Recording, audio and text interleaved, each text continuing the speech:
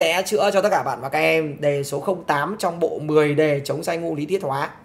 Một cái chuỗi mà rất là kinh điển và mỗi chuỗi này là thầy Minh thực hiện để giúp đỡ cho tất cả các bạn và các em không bị sai ngu về phần lý thuyết hóa nữa. Nào, chiến đấu nhá. Let's go. Các bạn comment đáp án với thầy nhá. Câu 41 ạ. Câu 41 41 ạ. Ở điều kiện thường thì chất nào sau đây là chất rắn ạ? Ở điều kiện thường thì chất nào sau đây là chất rắn ạ anilin là chất lỏng đây là anilin là chất lỏng đúng không? C6H5 NH2 nó là chất lỏng. Dimetinamin nó là chất khí. CH3 NH CH3 nó là chất khí. Đúng chưa? Etinamin cũng là chất khí. C2H5 NH2 nó là chất khí. Thế thì muốn làm được cái câu này ấy, thì các bạn phải nhớ cho thầy cái chú ý là gì ạ? Là metinamin dimetinamin trimetinamin và etinamin tồn tại ở điều kiện thường là chất khí. Đây thì ghi lại cho các bạn nhớ nha. Các bạn ghi lại nhá. Nhớ này metinamin này dimetinamin này, amin này etinamin này và trimetinamin này trimetinamin này. Thì tồn tại ở điều kiện thường. Tồn tại ở điều kiện thường. Ở thể khí. Được chưa? Các bạn nhớ chưa? Đấy, phải nhớ mấy cái này nhá. Và cái thứ hai là bọn amino acid. Thứ hai là amino acid amino acid thì tồn tại ở điều kiện thường là dưới dạng chất rắn kết tinh. Chất rắn kết tinh. Được chưa? Vậy mình có alanin là tồn tại ở điều kiện thường dưới dạng chất rắn. Các bạn nhớ chưa? Nhớ chưa? Nhớ nhá. Ghi kỹ cách chú ý này lại, bởi vì đi thi các bạn sẽ gặp nó. Câu 42 dung dịch chất nào sau đây có phản ứng màu bí ổ rê câu 42 dung dịch chất nào sau đây có phản ứng màu bí ổ rê các bạn lưu ý nhá phản ứng màu bí ổ rê. Biure thế điều kiện để xảy ra phản ứng bí ổ rê điều kiện để xảy ra, các bạn có nhớ không ạ? Các bạn có nhớ điều kiện để xảy ra phản ứng bi ure là gì không? Hay là bí ore là gì ạ? À điều kiện thì nhắc lại nhá, các bạn nhớ này. Điều kiện để xảy ra phản ứng bi ure á, đó là gì ạ? Nó phải có gì ạ? Từ tripeptide trở lên từ tripeptide trở lên các bạn nhớ chưa? Từ tripeptide trở lên. Vậy vậy biure ở trong này nó phải là từ tripeptide anh này dipeptide không được. Anh này glycine không được anh này triulin không được anh này là b albumin Đấy các bạn thấy không ạ? Những cái đề này, những cái câu này của thầy là được trích ra từ những cái đề thi thử từ S số 1 cho đến S số 24 của thầy. Và những cái đề này là những cái đề mà do thầy Minh tự tay soạn ra và cực kỳ sát, cực kỳ sát với đề thi năm nay. Nếu bạn nào muốn tham gia khóa luyện đề của thầy Minh thì nhanh tay, nhanh tay đăng ký nhá. Bởi vì khóa học đang được giảm giá cực kỳ ưu đãi. Chỉ còn 399 000 thôi. Bạn nào muốn đăng ký thì vui lòng inbox cho fanpage của thầy nhá. Câu 43. Ở điều kiện thương kim loại nào sau đây ở trạng thái lỏng? Đấy. Kim loại nào sau đây trạng thái lỏng? Những cái câu này rất hay. mà thường đi thi thì các bạn lại hay bị sai. Các bạn hay bị sai, các bạn hay bị mất điểm rất rất đáng tiếc ở những cái câu như câu 43. Ở điều kiện thường, kim loại nào sau đây ở trạng thái lỏng? Anh nào ạ? Anh nào mà nó tồn tại ở bên trong nhiệt kế anh nào mà nếu mà vỡ nhiệt kế ra thì chúng ta có thể sử dụng là thả bột lưu huỳnh vào hoặc là thả lòng đỏ trứng gà vào để hấp thụ nó à nó chỉ có thể là thủy ngân mà thôi 43 đáp án đúng của chúng ta đó là đáp án B. Bỏ, các em nhá. Câu 44 một cái câu rất hay mà khi thầy Minh cho vào đây thì nghĩ rằng sẽ có rất nhiều bạn bị chọn nhầm. Câu về quặng manhetit được dùng để điều chế kim loại nào? Các bạn có nhớ không ạ? Các bạn vui lòng comment đáp án xuống phía dưới để xem xem là các bạn có còn nhớ được cái câu số 44 này, quặng manhetit này này, được sử dụng để điều chế kim loại nào không ạ? Thế thì mình phải nắm được là manhetit là gì đã. Đây ạ M3 chân nên nó là Fe3O4 nha. Vậy nó là Fe3O4 vậy thì nó được sử dụng để điều chế kim loại gì hả các em? F3O4 thì được sử dụng để ui dồi, đứa comment nhôm đi này. Thấy chưa?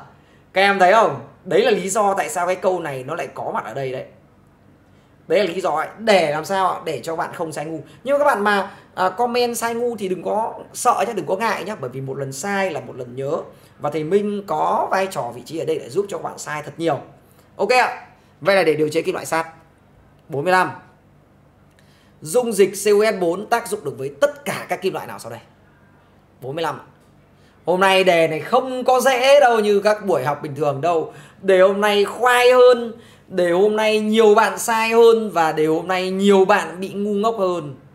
Dung dịch COS4 tác dụng được với tất cả các kim loại trong dãy nào sau đây? Dung dịch COS4 tác dụng được với tất cả các kim loại trong dãy nào sau đây? Các bạn lưu ý cho thầy nhá, Dung dịch COS4 thì nó tác dụng được với gì? COS4 thì nó sẽ tác dụng với các kim loại mạnh hơn nó, Đúng không? Thì bạc là không mạnh hơn đồng nên bạc không đẩy được đồng. Ok chưa? Đồng chắc chắn không đẩy được đồng, đúng không? Thủy ngân không đẩy được đồng, đúng không? Vậy ở đây nó tác dụng với tất cả các kim loại mạnh hơn đồng. Và kim loại mạnh hơn đồng là magie là kẽm, là sắt. Khi nào ba cần mua áo giáp sắt nên sang phố hỏi cửa hàng á phiêu. Vậy đáp án đúng chúng ta nó là đáp án C, các em nhá. C nhá, các bạn nhớ chọn C nhá. 46 ạ, bốn 46 dễ ợt. 46 nào 46 nào? một sáu bạn chọn đáp án nào nào? Chất nào sau đây tác dụng với HCl sinh ra mối FeCl2 nói thật với các em là khi mà làm câu 46 này nhiều bạn sai lắm. Sai le cổ luôn. FeNO3 hai lần có tác dụng HCl không ạ? Các bạn trả lời thầy xem FeNO3 hai lần có tác dụng HCl không ạ? Ui rồi ôi, một đống chọn 46A ui rồi ôi, toang chưa? Đây này, một đống A ơi, nhìn này. Sắt này, hai cộng này, cộng với ion NO3 trừ này, cộng với ion H cộng này thì nó tạo thành sắt dương 3 này, cộng NO này, cộng H2O này lên sắt dương 3 cơ sai sai FeOH 3 lần thì nó sẽ tạo thành là FeCl3 nhá Fe2O3 cũng tạo thành FeCl3 nhá Vậy đáp án đúng chúng ta chỉ có thể là GFeO mà thôi Chính FeO tác dụng với HCl thì tạo thành FeCl2 Các bạn nhớ chưa? Nhớ chưa? Nhớ chưa? Nhớ chưa? 47 ạ. À. Nào 47 nào. Để phân biệt chất lỏng đựng trong các lọ riêng biệt thì chỉ có thể dùng anh nào? Sau đây. Để phân biệt các chất lỏng đựng trong các lọ riêng biệt sau thì mình chỉ có thể chỉ cần dùng bọn nào? Nào xem nào. Mình có axit acetic CH3COOH, glycerol C3H8O3 Triolin C17 H33 COO tất cả 3 lần C3H5 rồi. Thế Minh chào tất cả các bạn và các em. Hello. Nào, bây giờ mình dùng anh nào? Bây giờ mình dùng nước đầu tiên đi. Nếu chúng ta dùng nước tan tan nổi vậy phân biệt từ anh triolin đúng không? Quỳ tím quỳ tím vào thì C3CH cho mình màu đỏ và C3H8O3 là không đổi màu. Vậy chắc chắn đáp án đúng của chúng ta nó là đáp án B các em ạ. Nước và quỷ tím rất dễ luôn. Các bạn thấy dễ không? Quá dễ. Câu 48 ạ. À, 48 các bạn chọn đáp án gì ạ? 48 48 48 ạ. Một số cơ sở sản xuất thuốc bắc thường đốt một loại chất bột rắn màu vàng nhá là một đơn chất để tạo ra khí nằm nhằm mục đích tẩy trắng chống mốc. Tuy nhiên theo các nhà khoa học thì khí ích có ảnh hưởng không tốt đến cơ quan nội tạng. Khí X cũng là một trong những nguyên nhân gây ra mưa axit. NO2 này H2S là không thể gây ra mưa axit được. Đúng không? Vậy khí X chỉ có thể là SO2, chất rắn bột màu vàng là lưu huỳnh. Lưu huỳnh cháy trong oxy tạo thành SO2. 49. Câu 49 này rất hay. Chất nào sau đây ạ? Nào, chất nào sau đây trong phân tử không chứa nitơ? Chất nào sau đây trong phân tử không chứa nitơ? Chất nào sau đây trong phân tử không chứa nitơ? Câu này mới hay này. Câu này mới đòi hỏi tư duy này. Và câu này sẽ rất nhiều bạn bị nhầm này. Chất nào sau đây trong phân tử không chứa nitơ Hay không? Ni lông 6. Ni lông 6 có nhco nhá, chứa nitơ. Glycine có NHCO chứa nitơ. Cellulose trinitrat chắc chắn có nitơ. Chỉ có polyvinyl chlorua đây cháu này này. Không chứa nitơ các bạn nhìn thấy chưa? Vậy không chứa nitơ câu 49 chúng ta là đáp án bề bỏ các em nha, nhớ kỹ cho thầy. Câu 45 là một câu rất nhiều bạn sai. Câu 45 ấy ạ. Rất nhiều bạn sai câu 45. Trong chuối xanh thì chứa lượng lớn cái gì? Trong chuối xanh thì chứa lượng lớn cái gì ạ? Các bạn chọn đáp án này xem. Trong chuối xanh chứa lượng lớn cái gì? Fructose hay glucose hay saccharose? Bây giờ thì hỏi các em là các em ăn chuối xanh, các em có thấy ngọt không đã? Các em đã ăn chuối xanh chưa? Và các em ăn chuối xanh, các bạn có thấy ngọt không? Nếu ngọt thì comment ngọt Mà nếu mà thấy chát thì comment chát, Thấy chua comment chua, Thấy đắng comment đắng xem nào Ăn chuối xanh thì thấy cái gì? Vị gì? Vị gì ạ? Chuối xanh mà Chuối xanh có vị gì? Úi rồi đúng rồi, chát Thế thì không thể nào là ngọt như Fruit Không thể ngọt như Glu, Không thể ngọt như xác được Đúng không ạ? Vậy nó phải là gì? Chứa gì ạ? Trong chuối xanh, chứa lượng lớn tinh bột. Nhớ chưa? Nhớ nha. Đây này, có bạn chọn C và bạn ấy bảo là câu này không dễ sai bằng câu nước ép chuối. Và sau đó bạn ấy sai luôn. Các bạn thấy không? Rất hay đúng không? Đấy, những cái câu này là những câu do thầy tổng hợp từ trong những cái đề thi do chính thầy mình tổng hợp. Nhá và những cái câu này những câu các bạn rất dễ sai đúng không những cái đề thầy tổng hợp nó dã man lắm tàn bạo vô nhân đạo câu 51 trong môi trường kiềm thì phản ứng màu bí ổ rê là protein tác dụng en nào trong môi trường kiềm nào nào đấy chat như 10 câu cuối trong đề thi hóa trùng phổ thông gì gì đã chat đến mức thế nào, trong môi trường kiềm ạ, phản ứng màu bí ổ rê là protein tác dụng với anh nào Câu này cũng hay. Đa số các bạn bị hỏi là màu bí ổ rê. Nhưng mà các bạn chưa rất ít, đôi khi chúng ta lại quên cái việc là là phản ứng màu bí ổ rê là protein tác dụng với thằng nào? Đúng không? Tác dụng thằng nào? Tác dụng với CO2 lần nha. Câu 52 ạ. Kim loại dẻo nhất. Đấy, kim loại dẻo nhất. Kim loại dẻo nhất thì không thể là chiếc mồm của thằng con trai đi tán gái được. Đúng không ạ? mà kim loại dẻo nhất dễ được rát mỏng dễ được kéo dài hay được dùng để gì ạ mạ vàng đúng không rát vàng nó là gì vàng bê bỏ câu 53 kim loại nào sau đây không tác dụng? Nhá, các bạn lưu ý ạ. Kim loại nào sau đây không tác dụng với dung dịch H2 bốn loãng kim loại nào sau đây không tác dụng với H2 bốn loãng? Thế thì chúng ta phải nhớ thầy là điều kiện. Điều kiện để một anh kim loại tác dụng H4 loãng, đó là gì? Điều kiện để một anh kim loại mà tác dụng hai bốn loãng ấy, đó là kim loại đấy phải đứng trước hydro trong dãy điện hóa. Đúng không? Thế bây giờ đề bài hỏi không, vậy là nó phải đứng sau.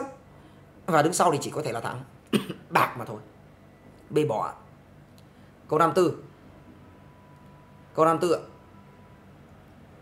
cho các chất sau đây.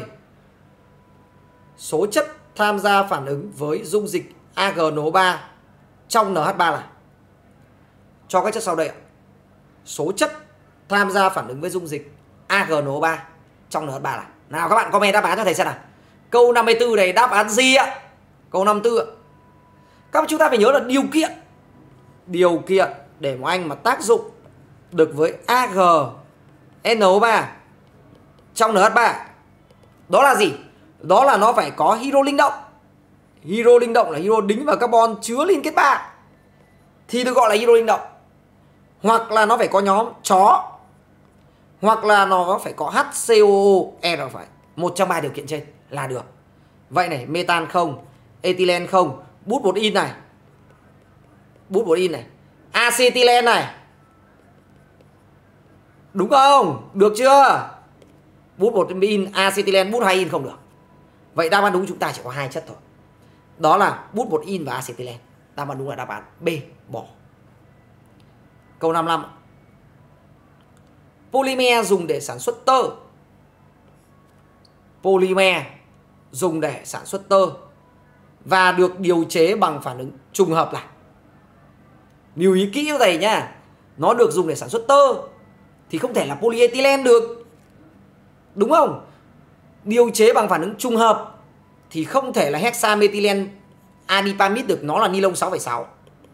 Và ni lông 6,6 này được điều chế bằng trùng ngưng hexamethylene diamine và axit adipic.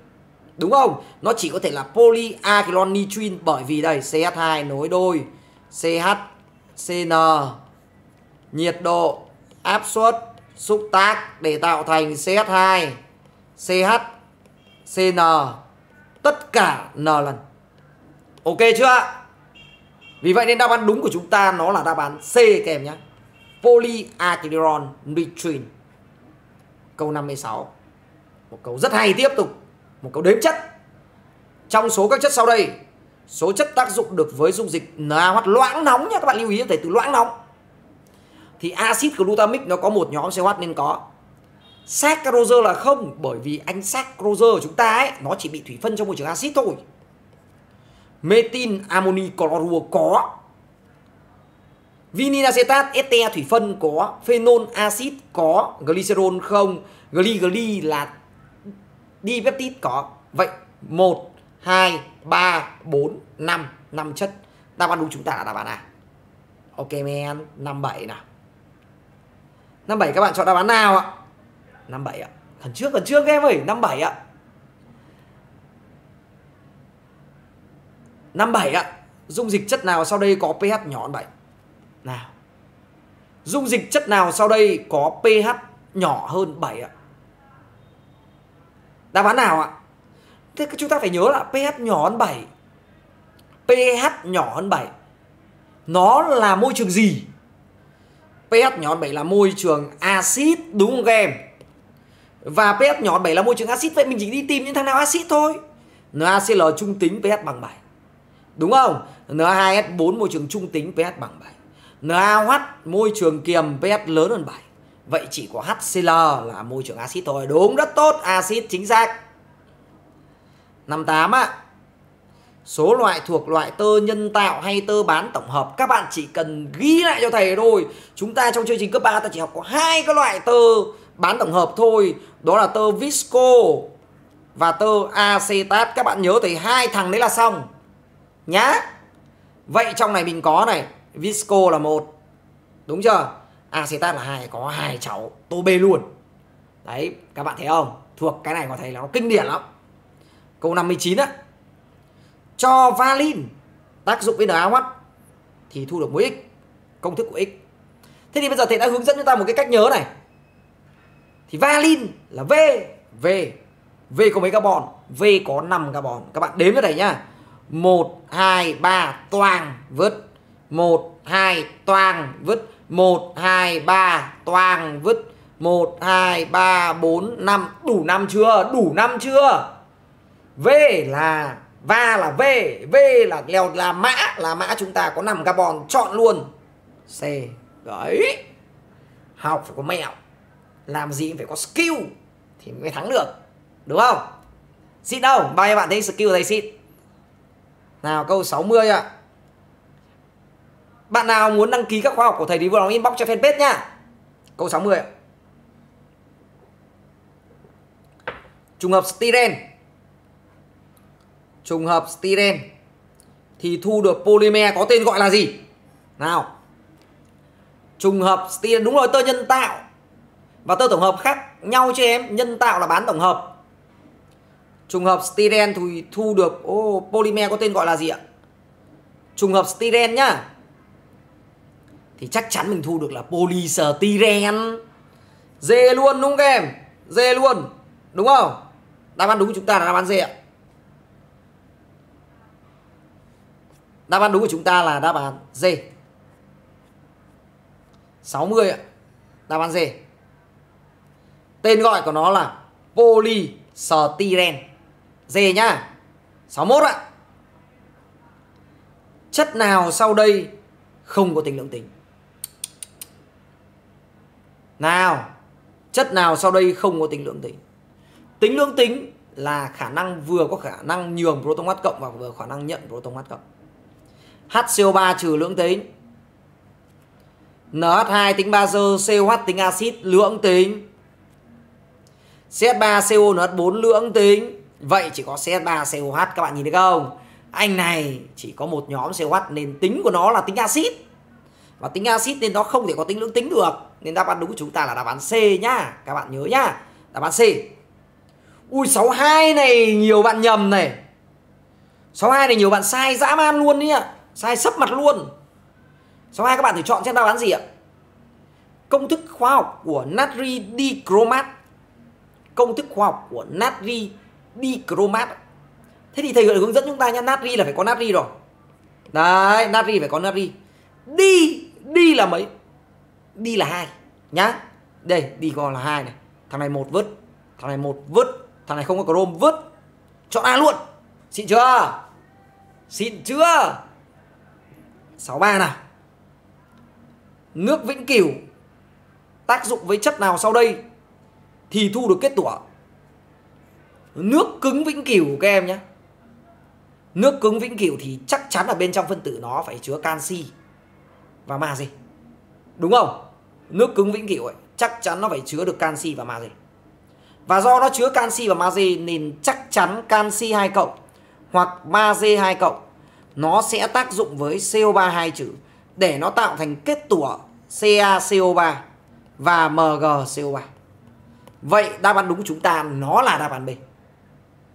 Ok chưa? 63 đáp án B các em nhá.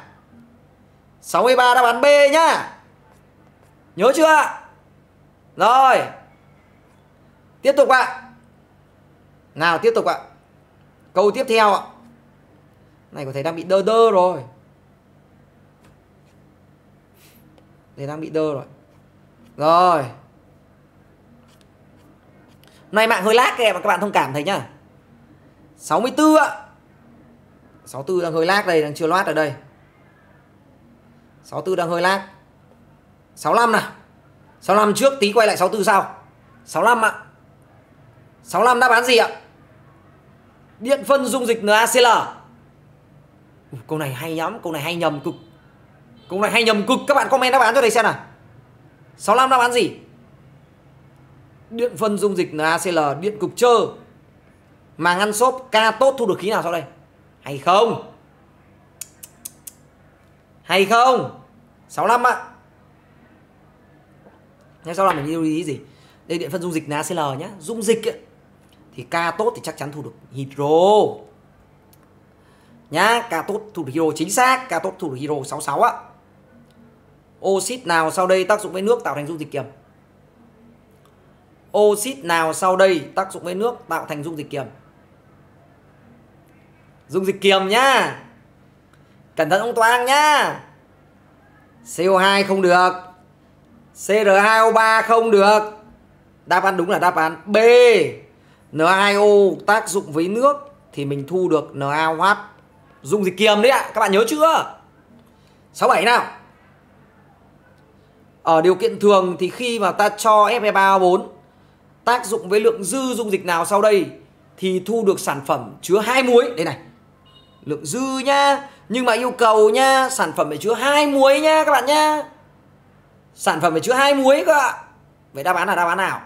Xem nào, ở điều kiện thường ạ mà khi cho F334 tác dụng với lượng dư dung dịch nào sau đây thì thu được sản phẩm chứa hai muối rất quan trọng rất hay rất là cảm ơn tất cả bạn và các em đã và đang theo dõi buổi học ngày hôm nay rất là mong muốn tất cả các bạn và các em có thể chia sẻ thêm nhiều hơn nữa video buổi học ngày hôm nay để ủng hộ thầy ạ làm hai muối ạ HNO3 lên FNO3 ba lần không được COS4 không được H4 loãng nhá thì nó tạo thành FeSO4 và Fe2 SO4 3 lần các bạn nhớ chưa? Đáp án đúng chúng ta là đáp án C.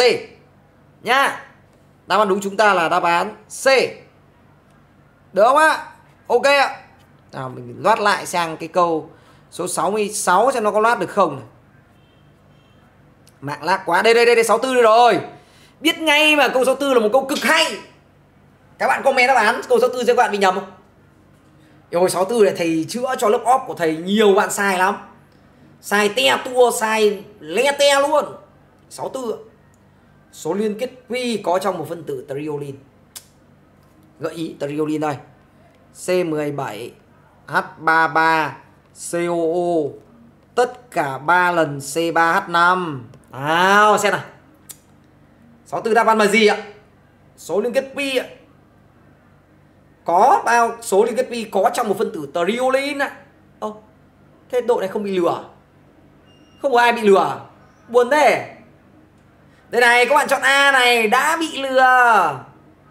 Chọn A là đã bị lừa. Số liên kết pi có trong một phân tử toluene các bạn nhìn nhá. C7H3 là một nối đôi CC CO là một nối đôi CO Vậy pi này tổng cộng, trong một thằng này là có 2 pi. 2 mà nhân với 3 gốc lên là có 6 cơ ạ. Đáp án đúng là đáp án D 6 Nha Kinh chưa? Hay không hay không? Ô, đền bị loát lỗi thế nhỉ Bạn đợi thì tí xíu. À đi được rồi. 69 ạ, Chất nào sau đây là muối trung hòa Câu này cũng làm câu rất hay.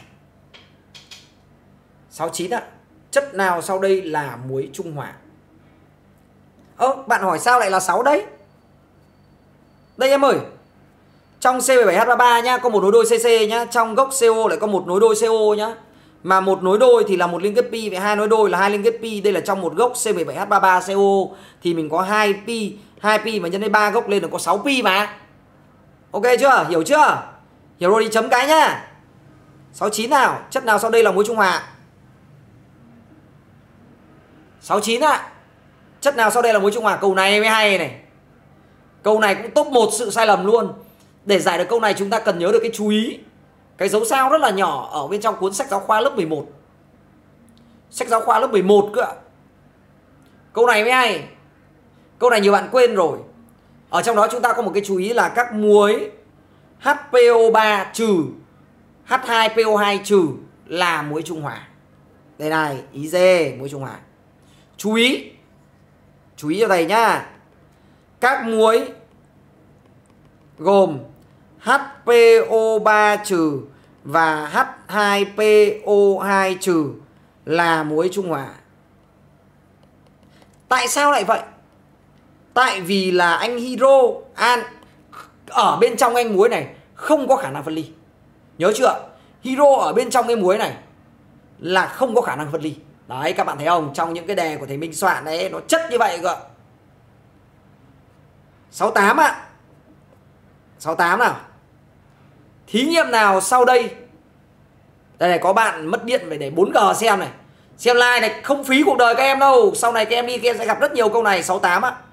Thí nghiệm nào sau đây không xảy ra phản ứng hóa học ạ? Cũng rất hay luôn. Thí nghiệm nào sau đây không xảy ra phản ứng hóa học? À, Các bạn chọn đáp án gì? HCl và vào NaHCO3 thì chắc chắn sinh ra khí CO2 bay lên nhá. Đúng không? H2O4 và BaCl2 thì chắc chắn tạo thành kết tủa BaSO4 nhá. Xin chưa? Fe và HNO3 đặc nguội có xảy ra phản ứng không? Fe và HNO3 đặc nguội không xảy ra phản ứng. Được không ạ? Bởi vì tại sao? Bởi vì đây, nó là nó là cái gì? Nhôm sắt chrome bị thụ động. C không xảy ra phản ứng. 70 Thí nghiệm tạo thành sản phẩm có kết tủa là 70 nào. Thí nghiệm nào sau đây để tạo thành sản phẩm mà có kết tủa? Thí nghiệm nào sau đây mà tạo thành sản phẩm mà lại có kết tủa các em? Thí nghiệm nào? Thí nghiệm nào mà lại tạo thành sản phẩm có kết tủa? NaOH vào H24 là có phản ứng nhưng không có kết tủa nha. Không có đâu. KS4 vào ZN N3 lần cũng không có kết tủa. Na2CO3 vào CaCl2 CO3 trừ cộng canxi cộng tạo nên kết tủa CaCO3 chọn C luôn. Đáp án đúng chúng ta, đáp án C. Câu 71 nhận xét nào sau đây là không đúng? Nhận xét nào sau đây là không đúng gạch chân từ? Không đúng, nhá. Nhận xét nào sau đây là không đúng? Phản ứng thủy phân, chất béo trong dịch bazơ phản ứng thủy phân chất béo trong dung dịch bazơ còn gọi là phản ứng xà phòng hóa? Đúng. Ethanol đơn chức mạch khở công thức chung là CnH2NO2 đúng. Mỡ động vật có thành phần chính là chất béo không no, sai chưa? Sai chưa? Mỡ động vật thành phần chính là chất béo no chứ ạ. Sai là C luôn rồi, còn gì nữa. 73 thành phần chính của đá vôi. Nào, thành phần chính của đá vôi là gì ạ? Các bạn chọn thế nào? Thành phần chính của đá vôi là gì ạ? Dễ không? Dễ không? Thành phần chính của đá vôi ạ. Nhiều bạn không biết đâu ạ. CA CO3 đúng không? CA CO3 thành phần chính đá vôi. 74 polymer nào sau đây có cấu trúc mạng mạch, không dài? Polymer nào sau đây ạ? Có cấu trúc mạng mạch, không dài?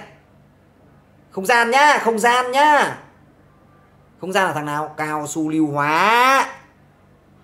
Cao su lưu hóa với không gian, còn amylopectin là mạch phân nhánh. Các bạn nhớ chưa? Nhớ kỹ nhá. 75 ạ. Cho các phát biểu sau. Số phát biểu đúng là amylopectin là polymer có mạch không phân nhánh sai pectin là phân nhánh. Đường glucose ngọt hơn đường saccharose, sai saccharose ngọt hơn dùng phản ứng màu biore để phân biệt được gliala và gliala gli đúng. Cồn 70 độ có tác dụng diệt virus nên được dùng làm nước rửa tay ngăn ngừa covid 19 đúng. Trong cơ thể người thì chất béo bị oxy hóa chậm thành CO2 nước và cung cấp năng lượng. Đúng. C, D E. Ba nhận định đúng. Đáp án đúng, đáp án A. Ngon luôn. 76 ạ. Sau khi các phản ứng xảy ra hoàn toàn, số thí nghiệm thu được kết tủa gồm hai chất là CaOH hai lần dư vào BaHCO3 hai lần, thu được CaCO3 và BaCO3 đúng hai kết tủa luôn. Một cháo. FeCl2 và AgNO3 dư thu được kết tủa AgCl và sắt dương 2 cộng bạc cộng để tạo thành sắt dương 3 cộng bạc đúng hai kết tủa tiếp. Còn chưa? Cho 2 x bari vào x Al2S4 chắc chắn thu được kết tủa BaS4 xe nào? Số mol watt trừ bằng 4x OH trừ 4x nhôm 3 cộng 2x 4x chia 2x thì mới bằng 2 thôi mà để mà có kết tủa thì OH trừ chia cho nhôm 3 cộng thì nó phải là bằng bao nhiêu ạ? Bằng 2 được chưa ạ? 2 được rồi, có kết tủa rồi nhá. Đây ạ, vậy là mình đã có kết tủa rồi. Là gì ạ? B ALOH 3 lần nữa. Ok chưa? 4x OH trừ 2x nhôm 3 cộng thì chắc chắn có rồi. Cho từ từ đến dư NaOH vào NaOH dư thì không thể tồn tại kết tủa ALH 3 lần được vì vậy chỉ tồn tại một kết tủa COH 2 lần thôi nên bỏ. Cho từ từ 4 amon vào dịch chứa 3 amon H3PO4. Thế thì mình chỉ thu được một kết tủa thôi, không thu được hai đâu. Đúng chưa? Vậy đáp án đúng chúng ta chỉ có A, B, C. Ba cháu, bề bỏ. Rất dễ. 77 một câu thực tế. Thực tế này ngon lành đấy, thực tế ngon lành cành đào luôn các em ạ. Thực tế này rất dễ nhá, các bạn đừng có sợ, các bạn nhìn này, các bạn nhìn non thầy hướng dẫn này. Bạn nào mà không làm được nhìn non thầy hướng dẫn làm. Đây nhá, nhìn nhá. một gam nước là một một gam một ml này. một ml nước, nhìn kỹ thôi. Thêm một độ C. Dễ cực. Thì cần 4,184 joule nữa không ạ? Dễ cực các bạn nhìn kỹ nhá. Khi đốt cháy hoàn toàn một mol kệ nó đun sôi 1 lít nước, 1 lít nước thì bằng 1000 ml. 1 lít nước bằng 1000 ml nước. Được chưa? Từ 25 đến 100, 25 đến 100 là 75 độ.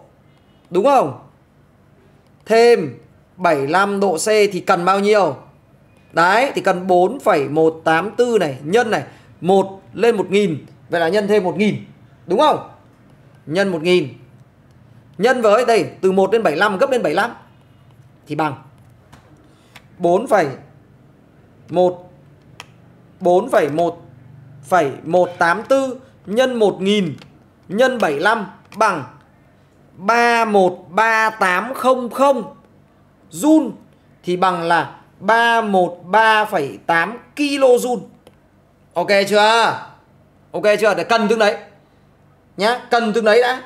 Tiếp tục này. Biết hiệu suất sử dụng nhiệt là 90%. Hỏi giá trị của M là mà một mol carbon thì tỏa năng lượng nhiệt nó có tương đây thôi. Vậy này, bây giờ mình cần này. Bây giờ mình cần này. Đốt cháy một mol carbon thì tỏa tương đây. cần M gam than, carbon chiếm 90%, vậy mình sẽ có hiệu suất sử dụng nhiệt là 90%. Vậy mình sẽ có là quy cần thiết 90% mà.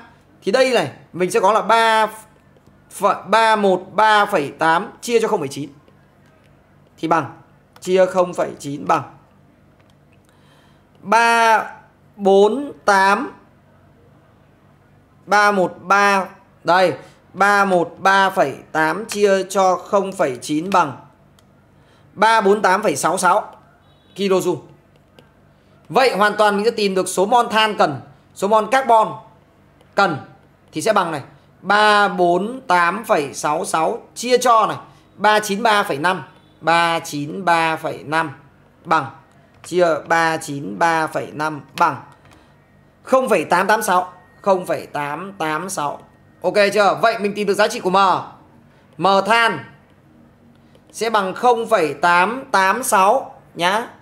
Nhân với 12 Rồi chia cho đây này. Than chỉ chiếm 90% rồi chỉ chia cho 0,9 Thì bằng.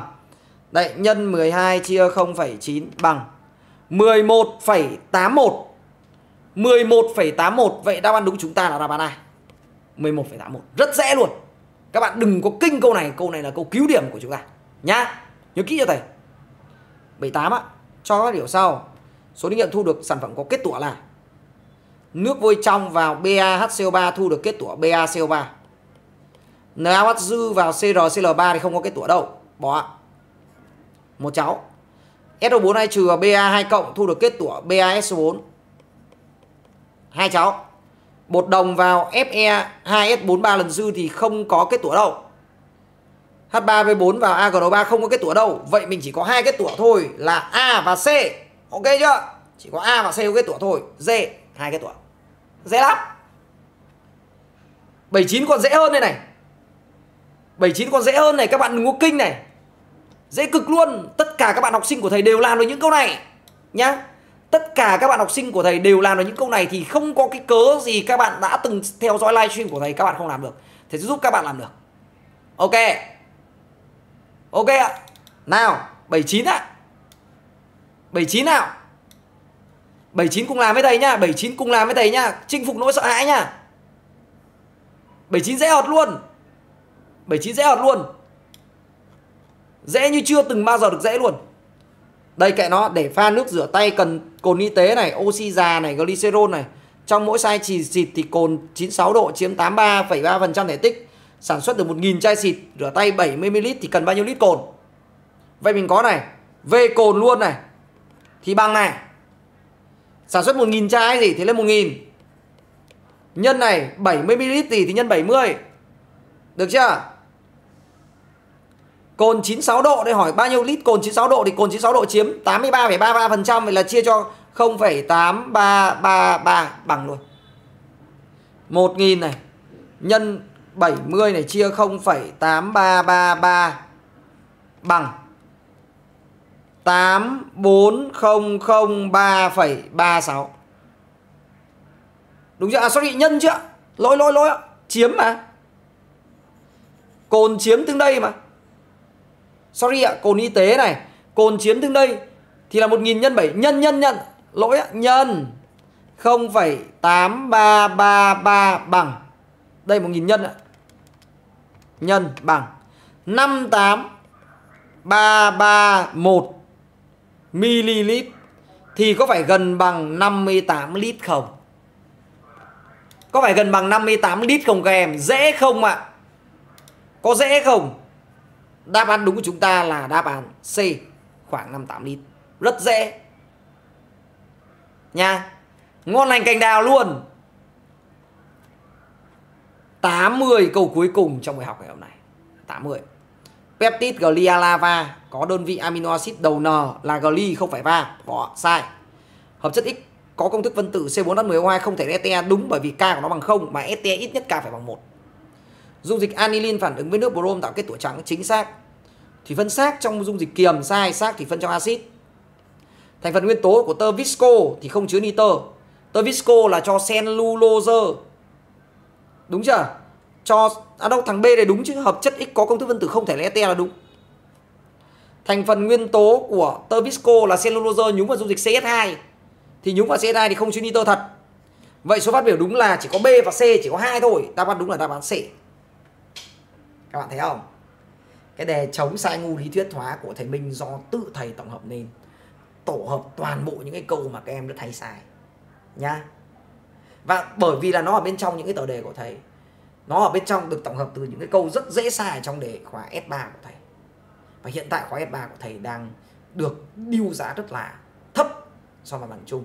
Bạn nào muốn đăng ký khóa S3 của thầy thì vui lòng inbox cho fanpage nhá. Cố lên! Chiến đấu để chiến thắng! Bye bye, chào tạm biệt tất cả các bạn và các em. Hẹn gặp lại chúng ta vào các buổi live tiếp theo. Bye bye.